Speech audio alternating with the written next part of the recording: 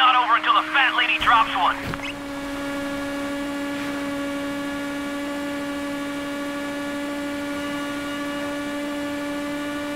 I like